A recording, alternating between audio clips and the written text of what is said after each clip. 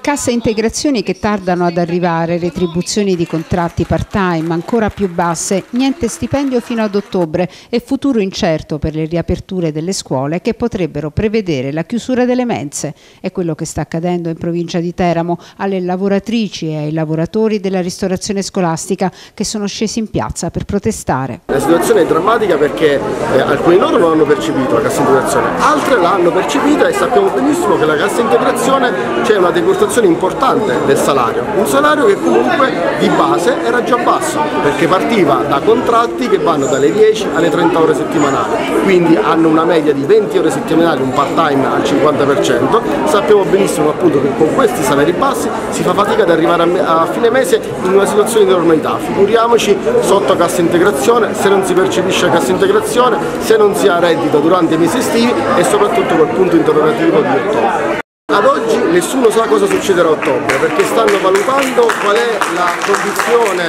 migliore dal punto di vista epidemiologico e sanitario per far ripartire la scuola. Quello però che non è accettabile è una questione, che quale sarà la retribuzione delle lavoratrici, a prescindere dalla forza lavoro, perché se è vero come è vero che non devono essere lasciati dietro nessuno, chi aveva un contratto a tempo indeterminato al 5 di marzo del 2020 a ottobre non può perdere un lavoro, soprattutto le lavoratrici che lavoravano presso le scuole, ossia presso enti pubblici pagati dai cittadini. In particolare per le lavoratrici e i lavoratori delle mense scolastiche il Covid-19 ha significato interrompere completamente l'attività lavorativa, creando tantissime difficoltà nella gestione dell'economia familiare. Durante la protesta sotto la prefettura di Teramo, gli addetti alle mense hanno chiesto agli amministratori comunali di poter continuare a lavorare anche in altri ambiti, una questione di sopravvivenza.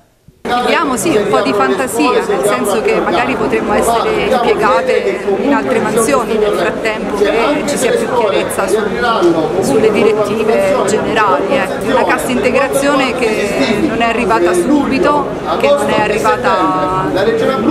completa e che sostanzialmente a giugno ci abbandona perché noi abbiamo la retribuzione soltanto fino al 30 giugno e poi da contratto riprenderemo il primo stipendio a novembre, nei mesi estivi non abbiamo nessun sostentamento, abbiamo, eh, rimaniamo assunte per 25 ore settimanali perché eh, comunque c'è la sospensione di servizio ma non il licenziamento, per carità grazie a Dio, però se vai a fare un altro lavoro e hai due cucche poi alla fine.